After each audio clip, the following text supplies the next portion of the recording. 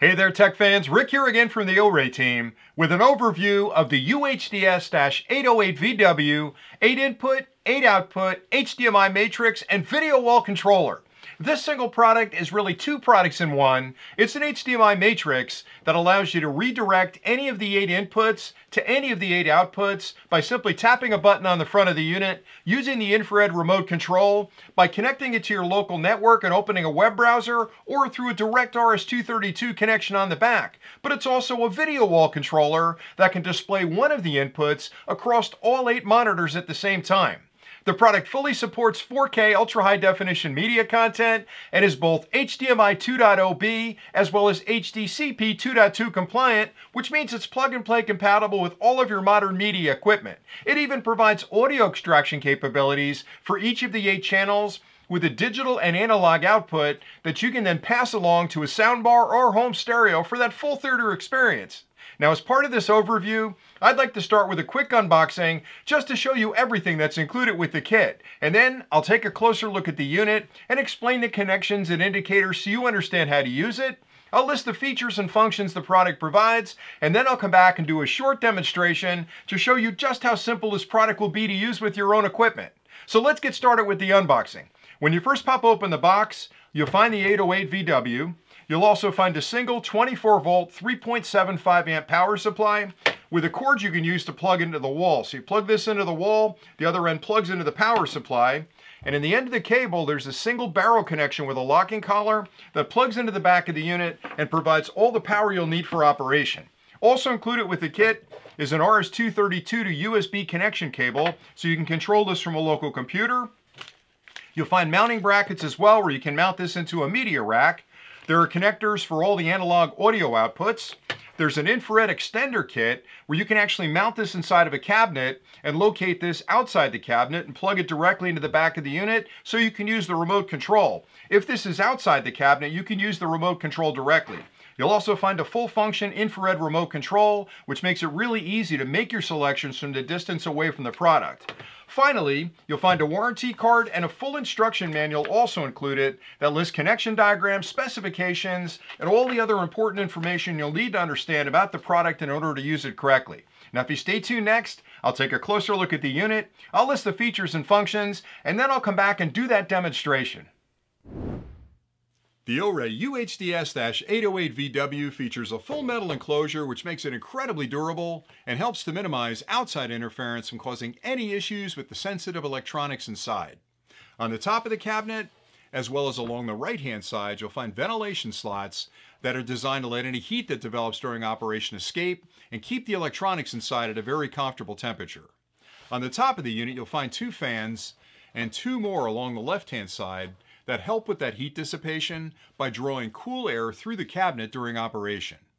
On either side, you'll also find mounting holes that can be used with the included bracketing kit in case you choose to mount this into a video rack or other style of cabinet.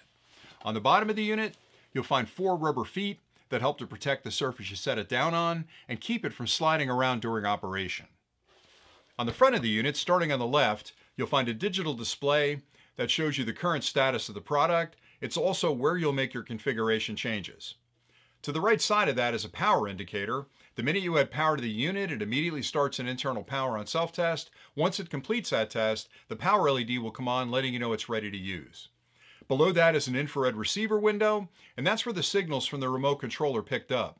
So when you set this up on your media center, make sure that window is visible if you're using the remote control. If you mount this inside of a cabinet, you can use the included infrared extender kit, locate the receiver outside the cabinet, and plug it into a port in the back that I'll show you in a minute.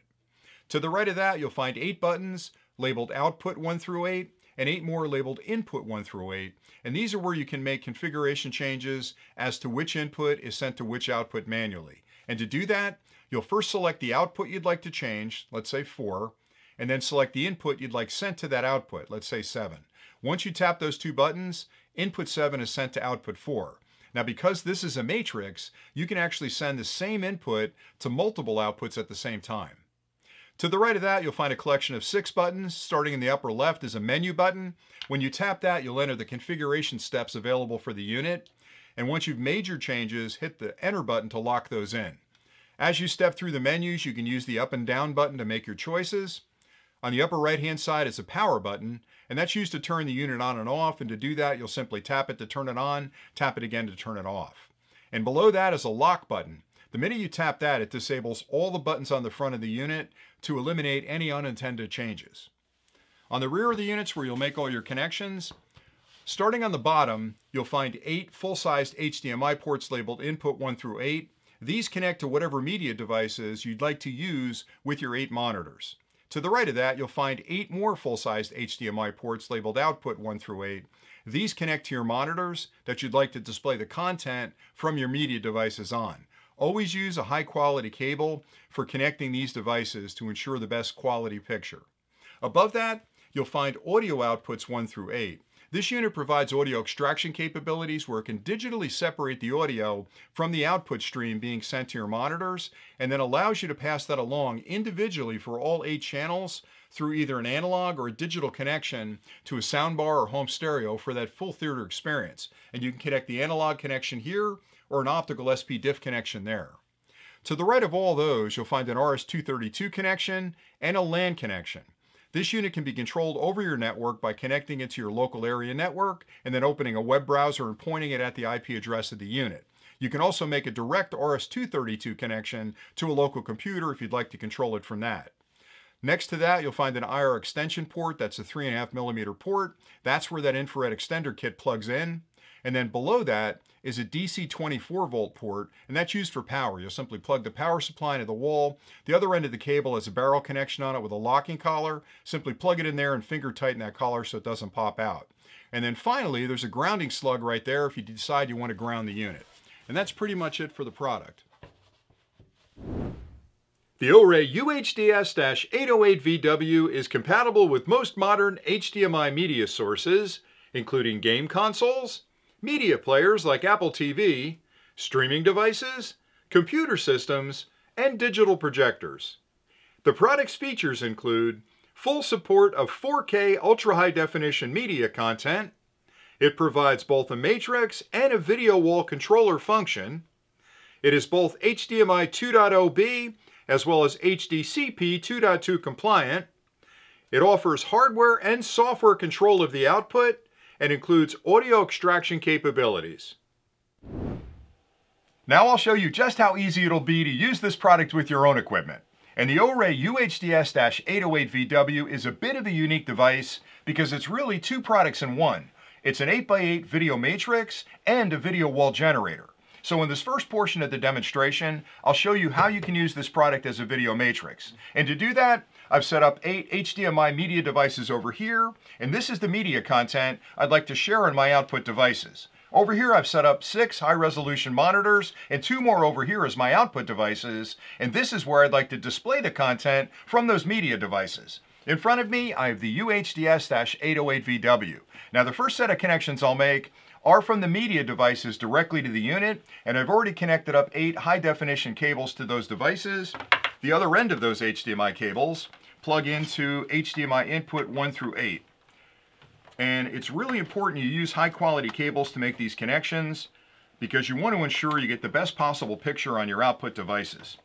You also want to make sure you've snugged these cables in tight because HDMI can be a little bit tricky if you don't get the connector all the way in. All right, so there are my eight input devices all plugged in.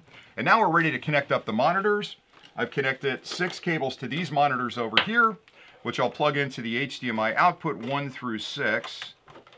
Now, if you're using this in video matrix mode, it doesn't really matter which monitor you plug into which output because you can easily move the inputs across the outputs as needed and adjust for whatever's needed.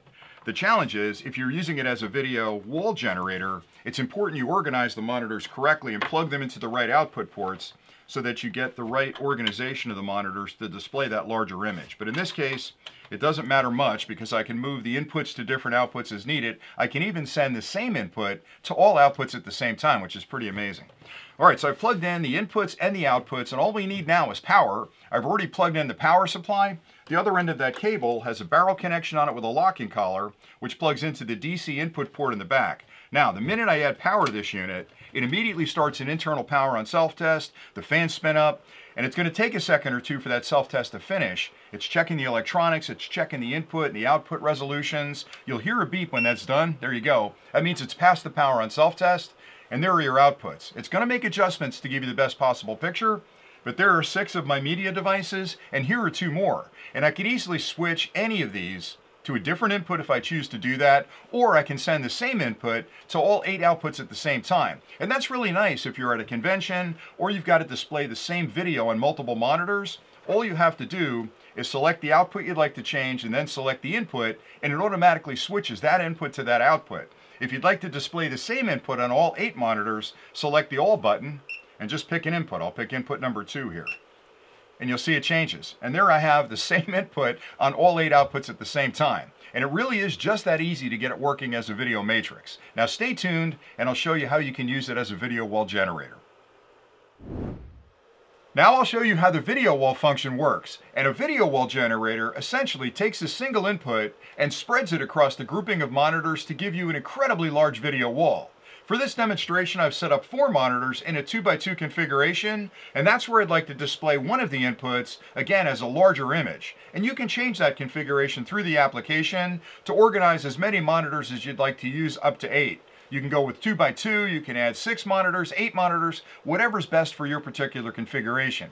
And once you've set that up, it's really important that you plug the monitors into the output ports that match up with the configuration you've set so that it organizes correctly when you try to display that larger image.